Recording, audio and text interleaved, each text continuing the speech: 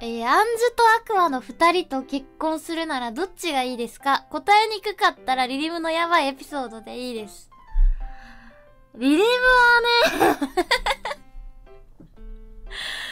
なんかアンジュのさ、なんだったっけ？アンジュの切り抜きでね、なんかアンジュが透明人間になりたいみたいな感じのことの切り抜きがあってね、それで、あのー、私の椅子の座るところに、なんか座って、みたいな、うわってなるの見たいみたいな、そう、最近の、ちょ、それ聞いて、あ、ちょやばい、あ、これやばいやつだって。あ、この人やばいやつだと思って。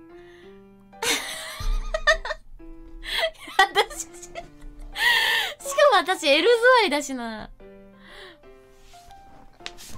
いや、でも、いや、アンジュの上に L 座りで座るって、ちょっとやばいな。ちょっとこれブロックですね。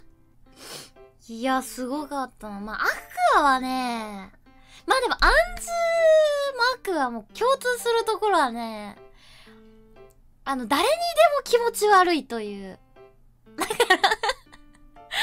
だから誰にでもっていうか、まあ、赤だったら、まあ、おかゆ、おかゆも、なんか結婚してるし、アンジュだったら、まあ、ベルモンドとか、まあ、いるから、二人とも結構浮気症なのかもしれないですね。夜日かもな。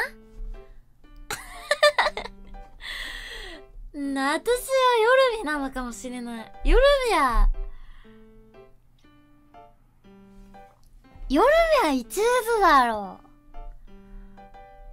ううん。